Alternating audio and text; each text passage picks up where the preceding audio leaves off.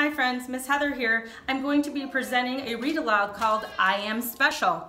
We're going to be talking about the unique things that are special about you. Girls are special, boys are too, sisters and brothers, friends like you.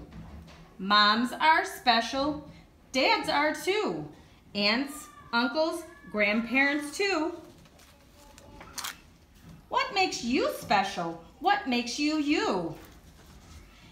Every baby is different. Even one is brand new.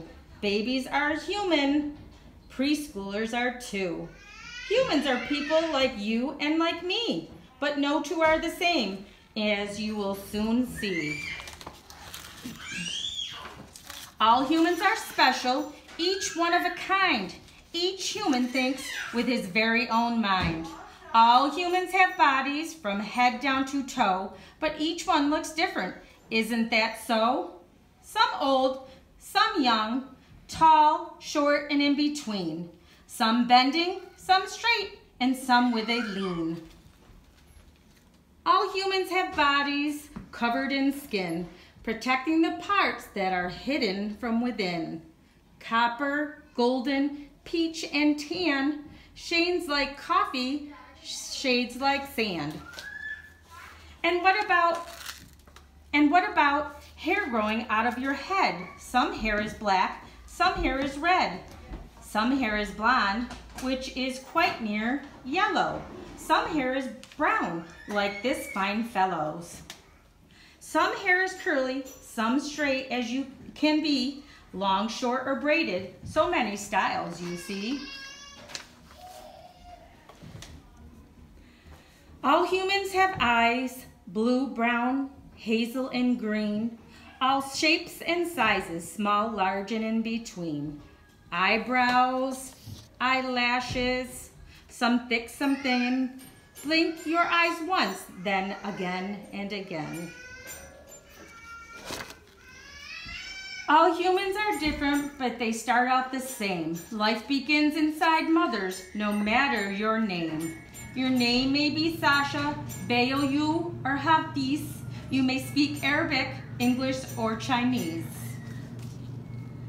All humans start small and they grow and grow and grow. Sometimes they grow quickly, sometimes they grow slow. Around one year old, babies start to walk and then they begin to run, climb, and talk. Bodies change through the years, so it's quite hard to see how adults once were infants. Don't you agree? Your mom and your dad, grandparents as well, used to be babies, though it's hard now to tell.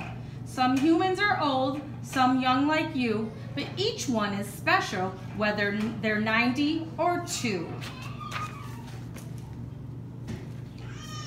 All humans have things that they like and dislike. You may love birthdays or riding your bike. Some kids may prefer a dip in the pool or running or skating around the school. Not every human likes the same kinds of food. Sometimes your choice depends on your mood.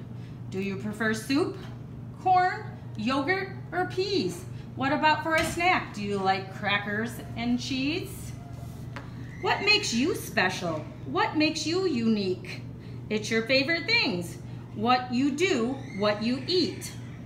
Combined with your looks and the language you speak, yes, these are the things that make you unique.